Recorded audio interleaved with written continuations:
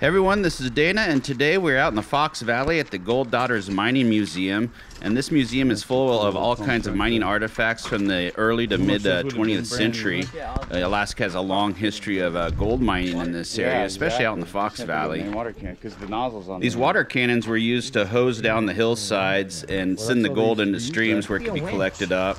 Uh, we got a winch in front of us now. You can see it's steam powered. There's uh, pipes coming off of this. A lot of this old technology was run off of steam, so they uh, had steam boilers nearby. And here's a steam boiler now. For making steam, for powering all the. Now, I'm guessing these old boilers probably would have been fired off of wood, but there's also a lot of You coal in burn wood and Alaska. They may have been thing. coal fired too. And then that, Dad, you first fly from the drum. Now, when you're mining gold, one thing you need a lot of is water. So these are actually uh, water pipes and a little cat unit here that would have been used to drag them out into the tundra. And uh, right past this what does it location, there was miles and miles of pipes that used to run from Fairbanks uh, clear up the Davidson Ditch to supply the mines with water. And now we've got a long uh, string of buckets. These go on a big dredge cool unit. dredge and there's a couple hundred feet of them here. They're in excellent shape, and each one of these things weighs hundreds of pounds, and it's you uh, wonder pure cast. on that one? Just So these are very Right heavy. the and They would have been just digging into the land, uh, eating up the gold-bearing earth. what is this? There's a scraper over to our left, but one of the main reasons we came here today is to see the snow freighter. So the LeTourneau land train snow freighter has been parked back here for years. It's obviously been out of service for a long time, and it's a little bit of a trail to get back here. You can see Ethy's getting about eaten up by mosquitoes, but it's uh, well worth the journey to come back and see this unique piece of history. The Alaska Freight Company had won a contract to transport construction materials to the distant early warning line. And this uh, was a line of radar stations in the far north of Alaska and Canada. So they needed a vehicle capable of crossing frozen tundra, really harsh terrain, and it had to be uh, capable, according to the contract, of operating at negative 68 below. So we're out here to check out this remarkable Wow. vehicle, the LeTourneau V22 Snow Freighter. In the 1950s, Look at that. the Alaska Freight Company had this vehicle purpose built.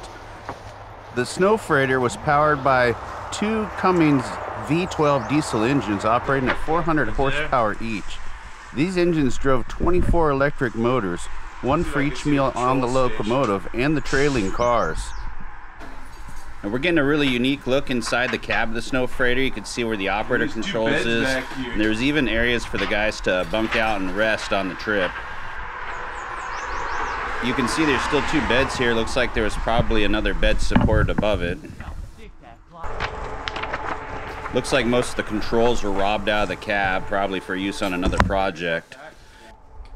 Look at you compared to that. You can see the electronic. Going up underneath the snow freighter right now, you can see it's got a built-in winch system in case it gets stuck. The And there's also these are electric drive motors. So the uh, the diesels would have been pushing uh, electric generators that would have supplied power directly to the wheel assemblies with the electric motors buried in there. And you can see there's a little junction box. And here's a look, another look at one of the winches up underneath.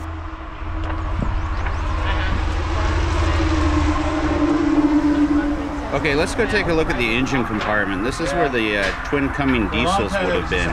And on its last trip, they caught fire and left this vehicle stranded, so it was actually towed back to its current place. And so what we can see back here is where the uh, engines were is the remnants of that fire. You can see the little blackening on the wall, and then uh, it looks like an old alternator on the floor, and there's the smokestacks for where the engines would have came out. Only in this area.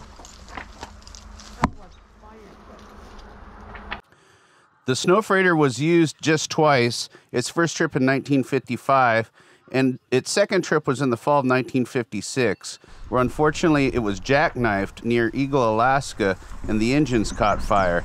It ended up having to be pulled back to its current location here next to the Steese Highway in Fox, Alaska.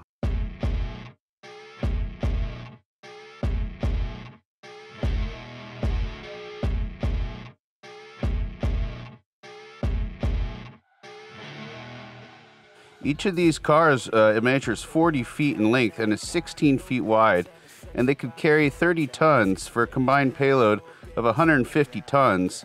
And at full length, the snow freighter was a 274 feet long.